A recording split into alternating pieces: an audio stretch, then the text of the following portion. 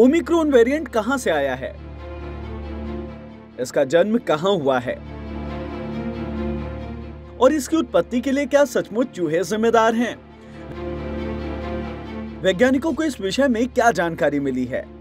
आज के वीडियो में हम इन सवालों के जवाब विस्तार से देने जा रहे हैं। तो आइए शुरू करते हैं। ओमिक्रॉन की उत्पत्ति को लेकर सबसे ताकतवर थ्योरी जो चल रही है, उसके मुताबिक कमज़ोर इम्यून सिस्टम वाले इंसान को कोरोना के किसी वेरिएंट ने संक्रमित किया होगा। उसके बाद उसे उसी दौरान किसी तरह के क्रोनिक इन्फेक्शन भी हुआ होगा, जिसकी वजह से कोरोना वायरस शरीर में घर बनाकर बैठ गया। धीरे धीरे अपना रूप बदलता रहा, यानी म्यूटेट होता रहा। उसने इतना ज़्यादा म्यूटेशन कर लिया कि वह भयानक ओमिक्रॉन वेरिएंट बनकर सामने आ गया है। इस बीच एक और थ्योरी आई है कि ओमिक्रॉन वेरिएंट चूहों से आया है। वैज्ञानिकों का कहना है कि यह खतरनाक और संक्रामक variant non human animal species से आया है, संभवतः रोडेंट यानी चूहों से। स्टेट नाम के मीडिया संस्थान ने यह खबर प्रकाशित की है कि ओमिक्रॉन की ओरिजिन तब हुई होगी जब किसी चूहे को पिछले साल के मध्य में कोरोना का संक्रमण हुआ होगा। कई जीवों में म्यूटेशन करने के बाद कोरोना वायरस के इस नए बदले हुए वेरिएंट ने इंसानों को संक्रमित किया होगा। इस पूरी प्रक्रिया को रिवर्स जीनोसिस कहते हैं। जूनोसिस मतलब जानवरों से इंसानों में आने वाली बीमारी।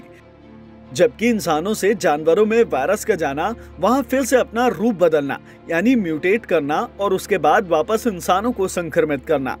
इसे रिवर्स जूनेसिस कहते हैं। बर्लिन के चैरिट यूनिवर्सिटी हॉस्पिटल के वायरोलॉजिस्ट क्रिश्चियन रोस्टेन इन दोनों थ्योरी से इनकार करते हैं। वो कहते हैं कि ओमिक्रॉन सबसे पहले कमज़ोर वायरल सर्विलांस वाली आबादी में आया होगा। वहीं पर विकसित हुआ होगा और संक्रमण फैला रहा होगा। लेकिन किसी की नज़र इस वेरिएंट पर नहीं पड़ी। क्रिश्चियन रोस्टेन को लगता है कि ये वायरस दक्षिण अफ्रीका में पैदा ही नहीं हुआ, क्योंकि वहाँ पर बहुत ज़्यादा मात्रा में जीनोम सिक्वेंसिंग चल रही थी। लेकिन यह सर्दियों के मौसम में दक्षिण अफ्रीका के किसी दूरस्थ दक्षिणी इलाके में विकसित हुआ होगा। दूसरी तरफ़ कई एक्सपर्ट ये भी कहते हैं कि ओमिक्रॉन वेरिएंट कई वेरिएंट्स के म्यूटेशन के बाद बना है। इसमें खुद 30 से ज़्यादा म्यूटेशन हुए हैं।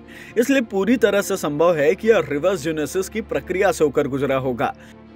कुछ थ्योरीज ये भी कह रही हैं कि किसी कमज़ोर प्रतिरोधक क्षमता वाले इंसान में कोरोना वायरस ने खुद को म्यूटेट करके ओमिक्रॉन के रूप में उभरा हो। ओमिक्रॉन वेरिएंट में चूहे को संक्रमित करने वाली जीन है। ये बात तो पुख्ता हो गई है। लेकिन जितना म्यूटेशन इस वेरिएंट में देखने को मिला है, उतना म्यूटेशन कोरोना वायरस के किसी अन्य वेरिएंट में अब तक नहीं देखा गया है। इसलिए वैज्ञानिक इसे इस नज़रिए से भी देख रहे हैं कि ये चूहों में विकसित हुआ हो।